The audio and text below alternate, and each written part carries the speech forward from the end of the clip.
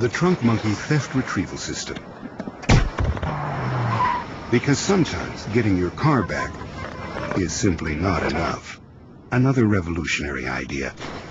You'll only find at Suburban Auto Group, pending approval from the Department of Agriculture.